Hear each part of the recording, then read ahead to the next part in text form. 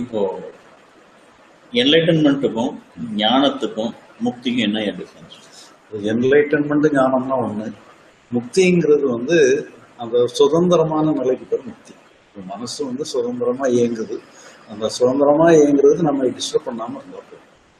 அது மனசு சுதந்திரமா இருந்ததுன்னா டிஸ்டர்ப் பண்ணும் இப்போ உதாரணமா நீங்க ஒரு ஒரு மரம் இருக்கு. அந்த மரத்தை பாக்குறீங்க அந்த மரம் வந்து கண்ணில் ரிஃப்ளெக்ட் ஆகுது.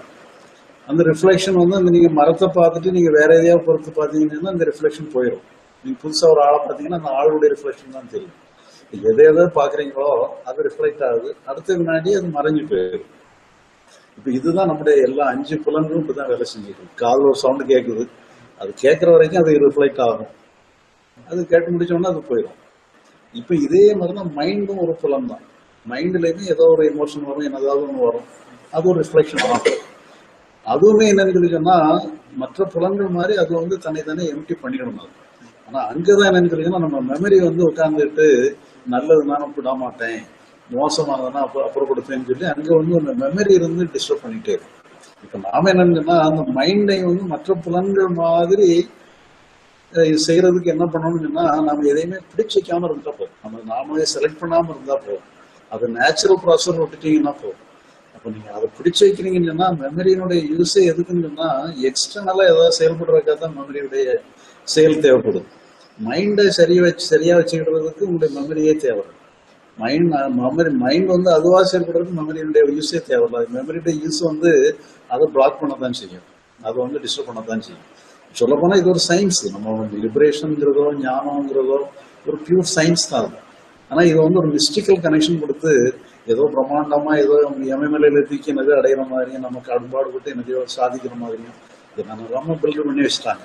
அதனால உண்மையில அங்க ஒண்ணுமே கிடையாது. நம்ம நம்முடைய நே- கடைசியில எங்கெங்கெல்லாமோ போய் நம்ம இருக்கிறத கண்டுபிடிக்கிறோம் நம்முடைய இயல்பான நிலையை நம்ம மனதினுடைய உண்மையான இயக்கத்தை சுதந்திரமான இயக்கத்தை கண்டுபிடிச்சுக்கிறோம். அதுவே அதுவே எல்லாத்தையும் சால்வ் பண்ணிக்கிறோம் ஆனா இவ்வளவு சின்ன விஷயம் பாத்தீங்கன்னா உலகத்துல எல்லாருமே இது தெரியாம தானே இல்ல, இது கஷ்டப்பட்டு சிலவங்களுக்கு இது தெரிஞ்ச பிறகுமே கூட இதனுடைய இம்பார்ட்டன்ஸ் தெரியாம இருந்தா என்ன செய்யறது? இது எல்லாரும் சாதாரண விஷயம்தான். அது இம்பார்ட்டன்ஸ் தெரியல. இப்போ உதாரணமா உங்களுக்கு என்ன ட்ரிங்க்ஸ் பிடிக்கும்னு சொல்லி உங்களுக்கு கேட்கறேன்னு வச்சுக்கோங்க. என்ன இப்போ என்ன ஜூஸ் உங்களுக்கு பிடிக்கும்னு சொல்லி கேட்டா நீங்க என்ன சொல்லுவீங்க? எனக்கு மாத ஜூஸ் அதான் சொல்லுவீங்க. இன்னும் இருக்கிறதுலே பெஸ்ட் வந்து தண்ணி தான் நீங்க எனக்கு மா- மாதுளம் ஜூஸே பிடிச்சி வாழ்ந்துட்டு தண்ணியே உங்க கையில கண்ண கண்ணில் காட்டாம. மாதுளம் ஜூஸ் மட்டுமே கொடுத்தானா உங்களுக்கு நீங்க ரெண்டே நாள்ல தூக்கி மாதுளம் ஜூஸே வேண்டாம்னு போயிருவீங்க. நான் தண்ணி நீங்க அப்படி சொல்ல மாட்டீங்க. ஆனால் தண்ணியில அப்படி என்ன விசேஷம் இருக்கு? ஒரு விசேஷமும் கிடையாது. இந்த ஒரு விசேஷம் இல்லாததான் விசேஷமான விசேஷம். இப்போ இதே மாதிரி நம்ம மைண்டுன்னு வந்து நேச்சுரலா இருக்கிறதா உண்மையான ஒரு கிரேட்டஸ்ட் ஸ்டேட் ஆனா அந்த ஸ்டேட்டினுடைய கிரேட்னஸ் தெரியல நமக்கு. நீங்க பாத்தீங்கன்னா உங்களுக்கு என்ன ஜூஸ் பிடிக்கணும் உடனே மாதுளை ஜூஸ் தான் உங்களுக்கு ஞாபகம் வருது தண்ணி உங்களுக்கு ஞாபகம் வரவே மாட்டேங்குது. இதே மாதிரிதான் எல்லாருக்குமே வந்து உங்களுக்கு என்ன அனுபவம் பிடிக்கும்னு சொன்னா எனக்கு எக்ஸ்ட்ரெஸி தான் பிடிக்கும். ஒரு ஒரு பரவச நிலை தான் பிடிக்கும். அன்பு தான் பிடிக்கும். வருத்தமே பிடிக்காதுன்னு சொல்லி நம்ம செலக்ட் பண்ணிடுவோம் சொல்ல போனான்னு அது வந்து நேச்சுரல் ஸ்டேட் எது வேணாலும் பிடிக்கும். அது வந்து அங்க ஒரு நிலையுமே அதுக்கு கிடையாது. இருக்கிற நிலை அப்படியே தான் வந்து மைண்டினுடைய ஒரு ஆரோக்கியமான நிலை. இப்போ உதாரணமா அவங்க நீங்க உங்க தோல்ல வந்து லேசா அப்படி சொல்லிக்கிறீங்கன்னு வச்சுக்கோங்க. உங்களுக்கு என்ன ஃபீலிங் கிடைக்கும்? சும்மா ஏதோ தொரிய சொரியறாங்கிற ஃபீலிங் கிடைக்கும். இப்போ நீங்க இந்த இடத்துல சொரியற இடத்துல சரங்கு இருக்குன்னு வச்சுக்கோங்க. நீ சொரிய சொரிய ஒரு ஆனந்தம் கிடைக்கும். சொரிஞ்சு முடிச்ச உடனே எரிச்சல் ஏற்படும். இப்போ வந்து சொரியும் போதெல்லாம் எனக்கு ரொம்ப இதா சிறங்கு இருந்தா தான் சொரியும் போது ஆனந்தமா இருக்கு. அதனால எனக்கு சிறங்குள்ள உடம்பு தான் வேணும்னு கேட்பீங்களா? கண்டிப்பா. இது சரி ஏன்னா சிறங்கில்லாத உடம்புல ஆனந்தமே கிடைக்காது. இன்பமே கிடைக்காது. அப்போ உண்மையிலே வந்து இந்த ஆரோக்கியமான நிலைங்கிறது வந்து அதான் நேச்சுரல் ஸ்டேட்டு அது வந்து இருக்கிறது தெரியாம இருந்துட்டு அது டிமாண்ட் பண்றதுக்கு அங்க ஒண்ணுமே இல்லை. எதை நம்ம டிமாண்ட் பண்ணுங்கன்னா இன்பத்தை தான் டிமாண்ட் பண்ணும். நாம வந்து என்னன்னா தேவையில்லாத இதோ டிமாண்ட் பண்ணி நம்ம தேவையில்லாத ஒரு காம்ப்ளிகேஷன்ஸ்ல மாட்டிட்டோம் அதனால இது வந்து இந்த தேவையில்லாத காம்ப்ளிகேஷன்ஸ் எல்லாம் நீங்க தூக்கி போட்டா போதும். நம்ம ஒண்ணும் நீங்க செய்யறதுக்கு அங்க ஒண்ணுமே கிடையாது. ஒண்ணுமே இல்லாத இடத்துல நம்ம எதையோ உருவாக்கி வச்சுக்கிட்டு தேவையில்லாத போல நம்ம நம்மளே டார்ச்சர் பண்ணிட்டு அப்படி இருக்க. இந்த பதினெட்டு லட்சம் கோடி ஜீவராசிகளும் மனிதனை உட்பட எதுக்கு கடவுள் படைத்தார்? எதுக்கு இந்த படைப்பு? இது இதோட யூஸ் என்ன? அப்ப இறைவன் படைப்புல இதெல்லாம் வந்து தேவையற்ற படைப்பா இது வந்து நமக்கு கண்டுபிடிக்க முடியுமா? முடியாது. நான் ஒண்ணு ஒரு பதில் சொன்னாலும் அவங்களை வெரிஃபை பண்ண முடியுமா? அப்புறம் தேவையில்லாத சில கேள்விகள்லாம் வந்து தேவையில்லாத கேள்விகளை தான் நாமளே தேவையில்லாத கேள்வின்னு சொல்லி ஒதுக்கி விட்டோம்னு சொன்னாதான் நம்ம தேவையானதில் நம்ம கவனத்தை செலுத்தி நம்ம அதை நம்ம அதில் ஃபுல் வியூ கிடைக்க முடியும். இப்போ நீங்கள் லிபரேஷன் என்லைட்டன்மெண்ட்ங்கிறது உங்களுக்கு தேவையான விஷயம். இதை நீங்கள் தெரிஞ்சுக்கிட்டீங்கன்னா இது போதும். அப்புறம் இதெல்லாம் வந்து பிரபஞ்ச ரகசியங்கள்லாம் தெரியணும்னு சொல்லி சொன்னால் அது உங்களுக்கு நீங்கள் என்னெல்லாமோ பண்ணலாம். சொல்ல போனான்னு சொன்னால் இப்போ வந்து காஸ்மிக் மைண்டில் உள்ள ஒரு சின்ன ஃப்ராக்ஷன் தான் நம்முடைய மைண்டு இப்போ நாம நினைச்சோம்னா சொன்னா நம்ம விஸ்வரூபம் எடுத்து காஸ்மிக் மைண்டாகவும் ஆகலாம். ஆனா அது வந்து அந்த அளவுக்கு நம்ம போறது வந்து நமக்கு தேவையில்லை. அது. நம்ம அந்த காஸ்மிக் மைண்டா அளவுக்கு விஸ்வரூபம் எடுக்க முடியும்னு சொன்னா எல்லா பிரபஞ்ச ரகசியம் முழுசும் நமக்கு தெரிஞ்சிட முடியும். இப்போ அந்த இதுக்கு நமக்கு அந்த வேலை இல்லை. நமக்கு வந்து இப்போ நமக்கு லிமிட்டட் மைண்ட்ல இருக்கிறோம். இந்த லிமிட்டட் மைண்ட்ல நமக்கு என்ன உண்டோ அதை நம்ம செஞ்சா போதும். அன்லிமிட்டட் மைண்ட்ல உள்ள கெப்பாசிட்டி எல்லாம் எனக்கு இப்பவே தெரியணும். சின்ன விஷயத்துக்குள்ள ஒரு பெரிய கடலே அடக்கணும். ஒரு சின்ன துளி தான் நாம. ஆனால் கடலில் உள்ள வாழ்ல எல்லா விஷயமும் எனக்கு இந்த துளிக்குள்ளே தெரியணும்னா முடியாது அது.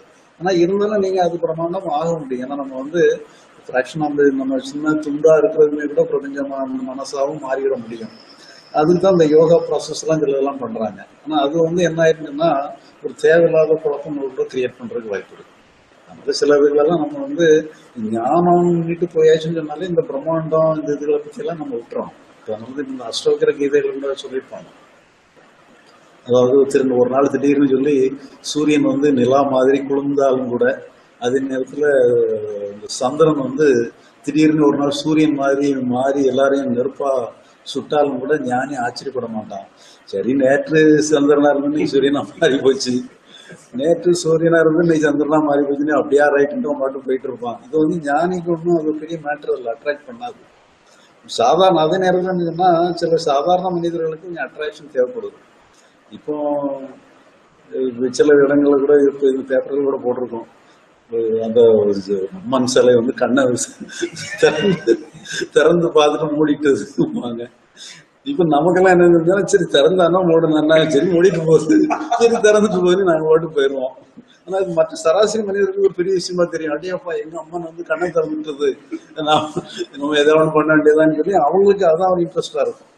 எங்கிட்ட வந்து சொல்லியாதுன்னா அப்படியா ரைட் வெரி குட் மற்ற க- என் மற்ற சிலைகளும் நாளைக்கு திறக்கும் அது வரைக்கும் வெயிட் பண்ணுங்கன்னு நான் ஓட்டு போயிட்டே இருப்போம். அது ஒரு இன்ட்ரெஸ்டான மேட்டரா இருக்காது.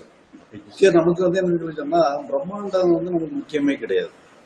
பிரம்மாண்டமும் இருக்கு. வேணும்னா அதுக்கு முயற்சி பண்ணலாம்.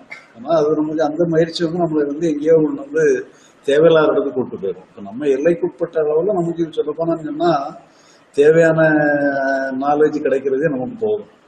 இப்போ நான் ஒருத்தர் உட்கார்ந்துருக்காரு. அவருடைய பிரதருக்கு என்னெல்லாமோ நிறைய நாளைக்கு நடக்கிறது இன்னைக்கு நடக்கிறது பத்தி எல்லாம் தெரியுது. அதனால பிரச்சனையை தான் அவர் சந்திக்கிறாரு.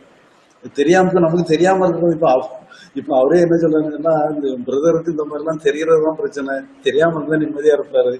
இப்ப தெரிஞ்சுக்கிட்டு பிரச்சனையில இருக்காருன்னு சொல்லிட்டு இருக்கிறாரு. அந்த மாதிரி எல்லாம் தேவையில்லாததெல்லாம் தெரியாம இருக்கிறதே நமக்கு சேஃப்டின்னு வச்சுக்கோங்க. இப்ப நம்ம நம்ம எல்லைக்குள்ள நமக்கு வேண்டியதெல்லாம் நமக்கு இருக்கு. அதையும் நம்ம ஒழுங்கா பயன்படுத்திக்கிறோம் எல்லை கடந்து யோசிக்க வேண்டிய விஷயம்.